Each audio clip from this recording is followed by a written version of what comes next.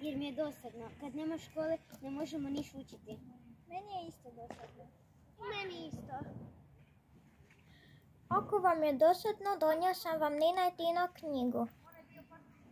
Ako nešto ne razumijete, samo pitajte nas. Vidite Nina i Tino knjiga iz škole. Dobio sam jedan iz matematike. I neću reći roditeljima. Zašto? Strah me je, neće me dopustiti u subotu na Ivanov rođendan. Moraš reći i onako će saznati pa će se naljutiti što im nisi rekao.